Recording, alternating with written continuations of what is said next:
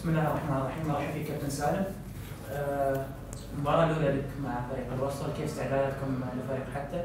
الفريقين راجعين من المباراة الأولى بخسارة كيف التحضيرات؟ آه، بسم الله الرحمن الرحيم. آه، بادئ ذي بدء. طبعا أشكر إدارة نادي الوصل على الثقة اللي أعطوني إياها في هذه المباراة.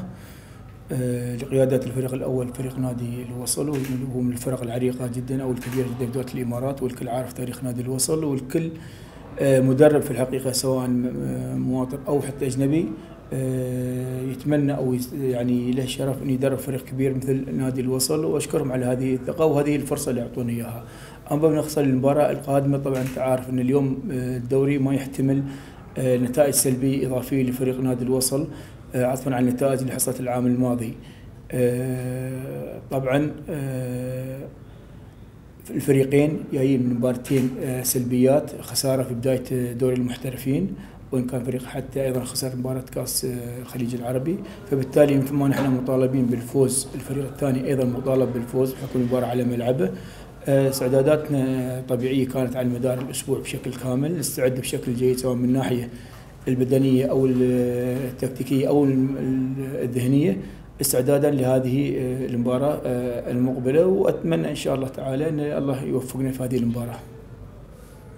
آه، سؤال من جريدة إمارات اليوم رحيل ريجي كامب في التوقيت هذا بعد الجولة الأولى هل راح ينعكس إيجابيا أم سلبيا على الفريق؟ في البداية طبعا أشكر الكابتن ريجي كام على الفترة اللي قضاها قضينا قضاها في الفريق في نادي الوصل وبالأخص الفترة اللي أنا قضيتها معاه في الحقيقة طبعا من المدربين اللي واحد يعني يفتخر إنه يشتغل مع مدرب كبير آه، مع السيد ريجي كام المدربين جدا الجيدين ولكن ما يمكن ال- ما ساعدت الظروف إنه يكون يطلع بشكل جيد خاصة إن المدرب قادم من الفرق حقق معها بطولات. نتمنى له التوفيق في القادمة. ولكن إذا قلنا عن سلبيات وإيجابيات إحنا اليوم ما نتحد ما نتكلم عن عن سلبيات. لابد نكون متفائلين ودائما نتحدث عن الإيجابيات اللي ممكن تكون مع الفريق في المرحلة المقبلة ودائما نكون متفائلين للمرحلة القادمة ما ما أحب أنا أذكر دائما شو السلبيات ودائما آه، الأشياء السيئة لا دائما نتفائل وننظر للأمام بتفاؤل إن دائما نحول السلبيات إلى إيجابيات ما ينفع الفريق وما يكون في مصلحة الفريق واللاعبين والنادي. آه، سؤال من جريدة الخليج آه، شو اللي يقدر يقدمه سالم ربيع للفريق خلال المباراة هاي؟ يمكن فترة جدا قصيرة آه، من تولي المهمة لين اليوم. شوف نحن دائما ما قلت لك آه، اليوم نحن لابد أن لا ما نتكلم عن السلبيات أن فترة قصيرة فترة بسيطة فترة أنا اليوم مع الفريق كملت ما يقارب من ثلاثة شهور تقريبا. آه، معظم اللاعبين قريبين من وعارفين آه، مستوياتهم. آه، أعتقد أن اللاعبين لديهم المقدرة التأقلم السريع مع سواء الأسلوب أو مع التكيف السريع في التكتيك. لأن اليوم تتلعب تتكلم عن مدرب لاعبين محترفين ذو فكر عالي جدا خاصة اللاعبين الأجانب الأربعة لديهم القدرة بتفهم الوضع. س- ان هاي في الاحتراف موجود تغيير مدرب خلال أسبوع تغيير مدرب خلال فترة توقف. ولكن لابد أنك أنت اليوم آه، تسعى وتحاول أنك أنت آه، تكون مع الفريق في هذه الفترة واللاعبين أيضا بيساعدونك خلال هذه الفترة. لأن في النهاية المرحلة مرحلة نادي والاسم اسم نادي بغض النظر عن المدرب اللي موجود أو الفترة اللي موجود فيها المدرب. زين كابتن برايك الشخصي شو المشكلة اللي يعاني فيها فريق الوسط؟ هل هي مشكلة ذهنية بدنية أم فنية؟ ما أعتقد في الوقت الحالي الوصل يعاني من المشاكل اللي قلنا عليها ولكن دائما يوم تغير من مدرب إلى مدرب تس- تحاول إنك تكون من ناحية تهيئهم من ناحية نفسية وذهنية للمباراة القادمة لأن اليوم من الصعب تغير تكتيك معين خلال يومين أو ثلاثة أيام بشكل كبير لكن اللاعبين إذا ما أرادوا شيء بيكون بشكل كبير جدا لأن هم الاداء اللي تكون في الملعب واللي تؤدي معك الملعب مثل ما قلت لك ما نبغى نتكلم نحن عن مشاكل نبغى نتكلم عن الحلول المطروحة للمباريات القادمة. دائما كل ما تذكر المشاكل كل ما تعيد ترجع للسلبيات إن في مشكلة معينة. لا دائما نتكلم عن الحلول اللي ممكن نطرحها نحن في المرحلة القادمة للفريق. السؤال الأخير يمكن اليوم من توليك المهمة؟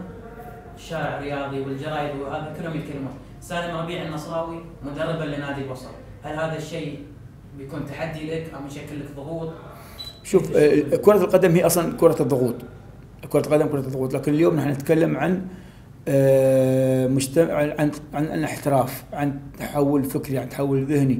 اليوم نحن اليوم أنا اليوم بشكل شخصي آه، أمثل نادي الوصل في القلعة في قلعة الوصل. أوكي فريق نادي النصر فريق كبير وفي يوم من الأيام كنت لاعب فيه ومدرب فيه وهذا سواء هم كتبوها أو ما كتبوها ما حد يقدر يهملها أو ما حد يقدر إيه، ينساها. ولكن في الوقت الحالي لابد أنك تركز مع النادي اللي أنت فيه مع البيئة اللي أنت فيها وتخلص في عملك فيها وتحاول تعطي أقصى جهد في المكان اللي أنت فيه واللي حاليا تعمل فيه. وهذا المفترض يكون وننسى وين وين كان أو متى كان. وهذا الوضع طبيعي. سواء اللي لاعب انتقل من نادي إلى نادي أو المدرب انتقل إلى نادي إلى نادي. لابد أن نكون نحن اليوم نعي هذا الأمر. نحن اليوم نتكلم عن بيئة جديدة المدرب فيها. فبالتالي يكون مركز تركيز كامل إخلاص في العمل اجتهاد في العمل آه، يفني آه، وقت مع العمل مع اللاعبين ويعطي أقصى ما يقدر من جهد للاعبين وللمكان الذي هو موجود فيه في الوقت الحالي. شكرا. كابتن يعطيك العافيه شكرا. Fabio, can you tell us about uh, the preparation for next match, uh, next match against Hatta? Both team uh, lose the first uh, game. So what's the preparation for the match? Yes, uh, our preparation is starting two days ago uh, with the new coach, you know, Captain Hassan. Uh, the result in the last game surprise for us because we go to inside the field for win three points, and uh, a very difficult game, very difficult to accept this result. But in this game, we concentrate to to win. Uh, and uh, we know they had Hata lose also in the, the first game and they're very important for us and for him for them uh, this game we try to win there for for the first three points in the league Uh, as, a, as a team captain, uh, how, how you can help the new coach to build the team again and start winning? yes we we give confidence to coach to to preparation the team. He's he's know the players because he's stay with us uh, beginning of the season. Uh, the coach Hassan he's know the the old players. He's local coach and he's not the the everything. We we support him. We me and Salmin the the captain of the team we talk with the players.